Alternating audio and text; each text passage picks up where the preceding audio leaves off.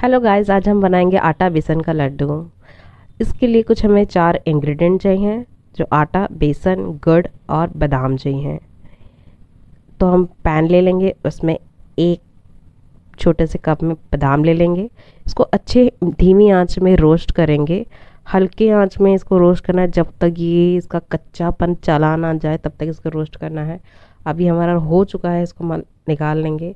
एक कढ़ाई ले लेंगे, उसमें हम घी ले लेंगे, एक कप घी ले लिया है मैंने, और ये आपने जो करची देखी, उसी के हिसाब से मैंने दो लिया है आटा।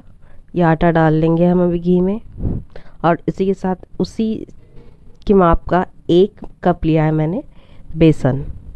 बेसन भी डाल देंगे इसी के साथ, आटे के साथ मिला के। अब इसको अच्छे से धीमी आँच में हम मिलाते रहेंगे, जब तक इसका कच्चापन चला ना जाए।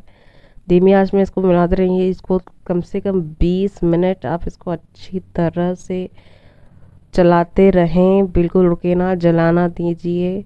इसका कलर, इसका टेक्सचर अपने आप चेंज होता रहेगा। आप देख सकते हैं धीमी आँच में कैसे कैसे कैसे धीरे धीरे धीरे धीरे यह बनता रहेगा। अभी हम इस स्टेज में आ गए हैं। ये पाउडरी फॉर्म में दिख रहा है, पर इसका कच्चापन गया नहीं है। आप देखो, ये धीरे धीरे बाइंड अप होना हो रहा है। ऐसे धीरे धीरे यहाँ में अलग अलग टेक्सचर आता रहेगा। अभी गुटलियाँ पड़, आपको दिख रही होंगी गुटलियाँ नहीं पड़ रही। इसको अच्छे से स्मैश करते करते करते दबा के आप अच्छे से रोस्ट करते रहिए। धीरे धीरे अपना तेल भी छोड़ने लगेगा। हम देख सकते हैं कैसे धीरे धीरे धीरे धीरे घी छोड़ रहा है। इसको चलाते रहिए चलाते रहिए। जब तक इसमें एक अच्छी सी खुशबू आना शुरू ना हो जाएगी और ये अपना तेल छोड़ने लगेगा। अब ये तैयार हो चुका है कब हद तक, इसको मैं अभी निकाल लूँगी एक प्लेट में। और थोड़ी देर मैंने इसको चलाना किया क्योंकि मुझे थोड़ा कच्चा लग रहा था तो मैंने सोचा थोड़ा इसको अच्छे से ऐसे स्मैश करते करते इसको थोड़ा सा हिला, अब हिलाते जाइए।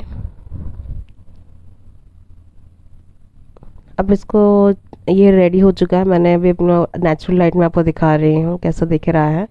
अब इसको मैं अलग से प्लेट में निकाल लूँगी। तो मुझे लगा कि थोड़ा सा इसमें गुटलियाँ जैसी दिख रही हैं फिर वो गुटलियाँ नहीं है। वो पूरी पक गई है, वो ऐसे ही दिखेगी। आप उसको जब इसके साथ आप गुड़ मिलाओगे, ये पूरी तरह से मिल जाएगी। बादाम दिख लिए, हो चुका है। इसको हम क्या करेंगे कि छिलके निकाल लेंगे। तो छिलके निकालेंगे, हाथ को ऐसे मसल लीजिए हाथों में, दोनों हाथों में। तो सारे इसके छिलके निकल जाएँगे। गुड़ ले लिया है मैंने कुछ अपने मिठास के अनुसार। आप अपने अनुसार ले लीजिएगा। इसको थोड़ा सा हाथ में क्रश करके बादाम के साथ ही इसको मैं ग्राइंड कर लूँगी।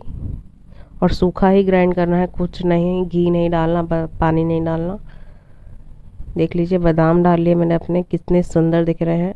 और गुड़ भी मैंने इसी के अंदर डाल के इसको ग्राइंड कर लिया है। देख लीजिए। बादाम को पहले मैंने ग्राइंड कर लिया था, फिर उसके बाद गुड़ मिला के उसको ग्राइंड कर लिया मैंने। पूरी अच्छी तरह से मिल गई हैं दोनों की दोनों।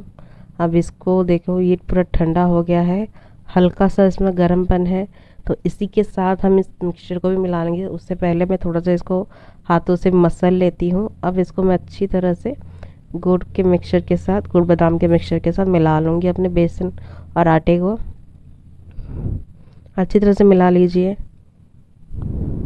अब इसके हम धीरे धीरे छोटे छोटे लड्डू बनाएँगे हाथों से और इसमें घी का पन भी हल्का है क्योंकि मैंने थोड़ा बेसिकली ज़्यादा हेल्दी बेसिस में बनाया है। तो आप देख सकते हैं थोड़ा थोड़ा लेके अच्छे से एक एक करके आप बनाइएगा। देख लीजिए, मैं जल्दी जल्दी फटाफट से बना लेती हूँ, उसके बाद आपको दिखाती हूँ सारे के सारे। छोटे छोटे बनाइए बड़े बड़े बनाइए और बहुत टेस्टी लगता है बहुत हेल्दी रहता है। आप किसी को भी खिलाइए बच्चों को खिलाइए बहुत मज़े के बनते हैं। देख लिए मेरा लड्डू बन के तैयार हो चुका है। कितना सुंदर है कितना टेस्टी है भी है।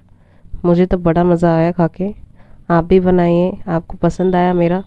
चैनल को लाइक शेयर सब्सक्राइब करना मत भूलिए प्लीज़